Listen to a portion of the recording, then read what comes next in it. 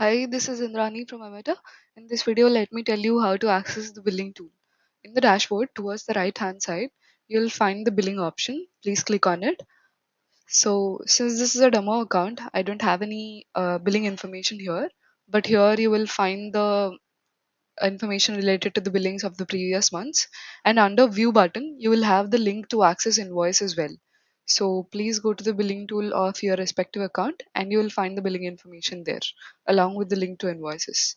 Please try it and let us know if you have any questions. Happy to help. Thanks for choosing Emitrr. Have a good day.